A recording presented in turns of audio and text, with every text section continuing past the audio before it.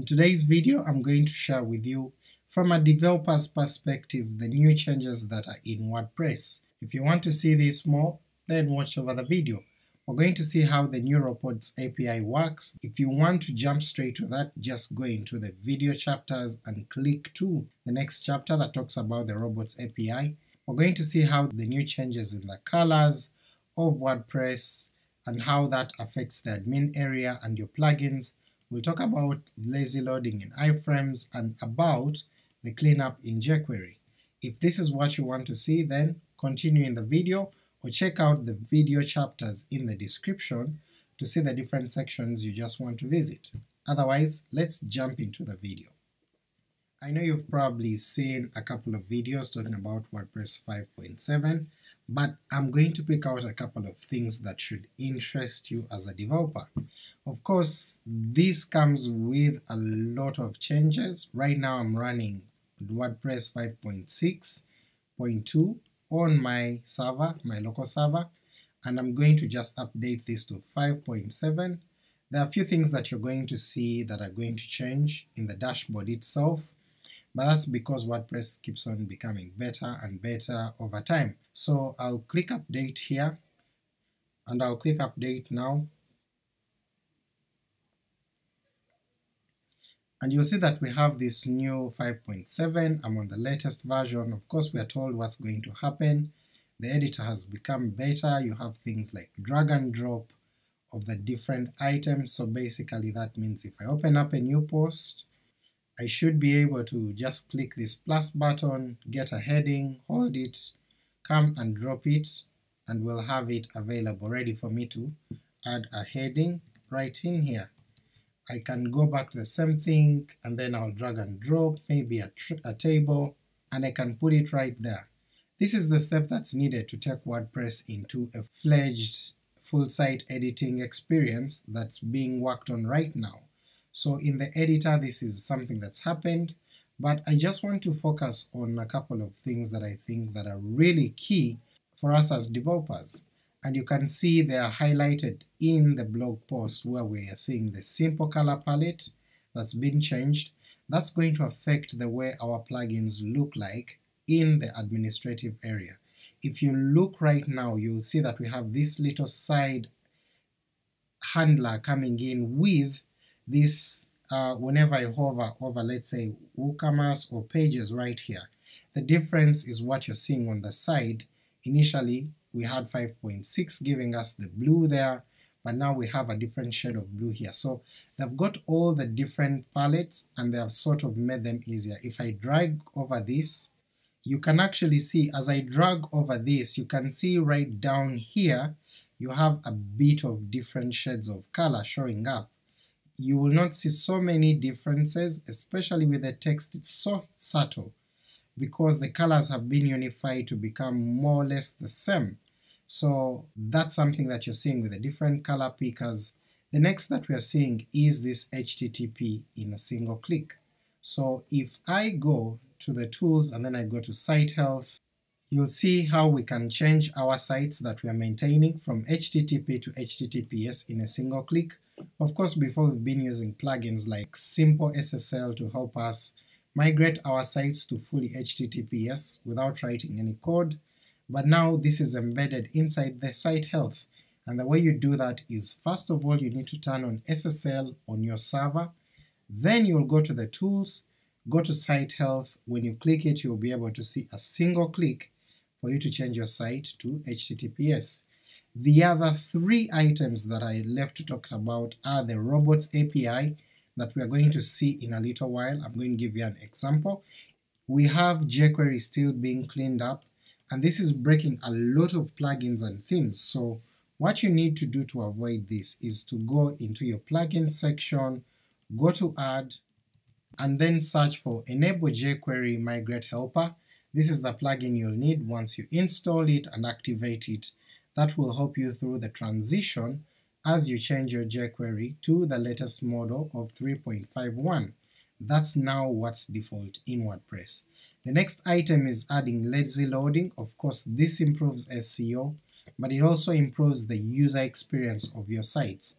for people who go on the front page of your site and probably they're going to see that you've embedded YouTube videos, for example, these come with an iframe automatically.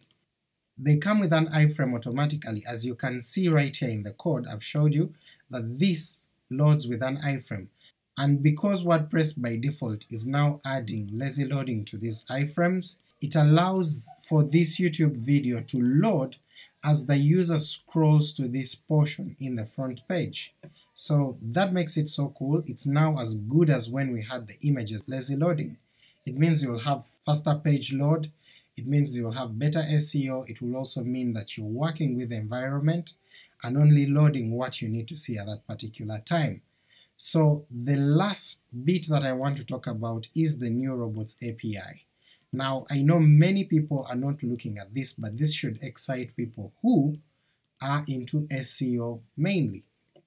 Now what's this robots API? I'll throw this link in the video description and you'll be able to read it, but the robots API is targeting the metadata inside our head whenever we have WordPress loading.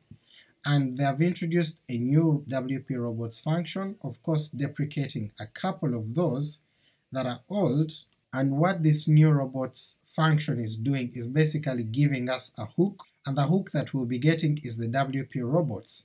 So this filter hook will allow us to change a couple of things.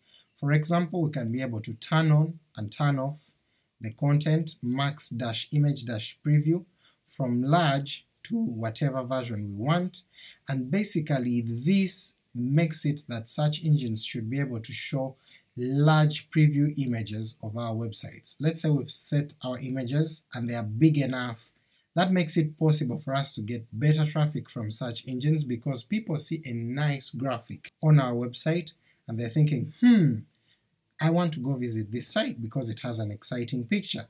Now of course we can remove, because by default we're going to have this showing up in our site. We can remove this filter or we can use it to enhance and do so many other things.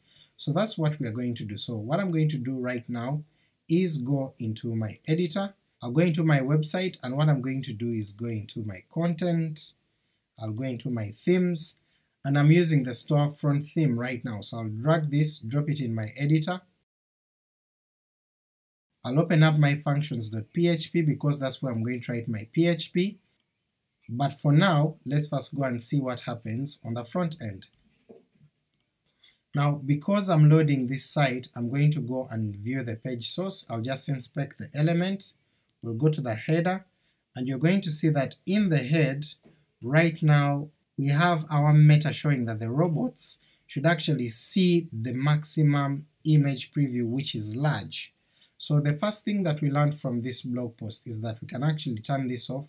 Let's say we like to use very small images, we don't have the large ones, so I'll just copy this and then come back to our functions with PHP, I'm going to paste it, and this is going to remove the filter that will disable this particular filter of wp underscore robots. So I'm going to save this, we'll reload the page, and when you go to look inside the head, you'll see that we no longer have this meta that shows us any robots inside our head at all. So what we're going to do is now try to change everything up. So I'm going to comment this out because this is going to remove the robots, remove meta for robots, and what I'm going to do now is I'm going to add filter and I'm going to edit the filter. The tag that we need is just the same as above, WP robots, and we're going to add our own function. I'm going to just pick this, I'll just add on TechiePress to give it a different prefix. So we have this function, that we're going to pick, and then I'm going to add a semicolon here so that it's proper PHP, add the function with the name, and then I'll complete our function. Now this function receives particular arguments in it or parameters which I'm going to call robots. So I'm going to dump this robots, of course add robots here, and then I just want to return the robot so that we don't break whatever is going through. I have a little typo here which I need to correct and say robots, save this, come back, reload, and you'll see that we have the max image preview that is large. So what we're going to do is we're going to go inside this array and we're going to turn off this max preview. So what we're going to do is we're going to grab this piece of the array, I'm going to copy it, come back into my code right here, I'm going to look for the robots, and inside the robots array I'm going to get this max image preview, and what I'm going to say is let this be false. If I save this, reload here, you will see that we don't have that meta showing up in here, and of course this is false. But what we can do also at this point is I'm going to duplicate what we have here, and I'm going to choose to say let's have the follow. Because we want our robots to follow, we're going to add true in here. When I reload it, you'll actually see that we have the meta robots follow is actually working. So you can do a lot more with the robots API by unsetting things that are in there, removing them, and putting others just using a few lines of code.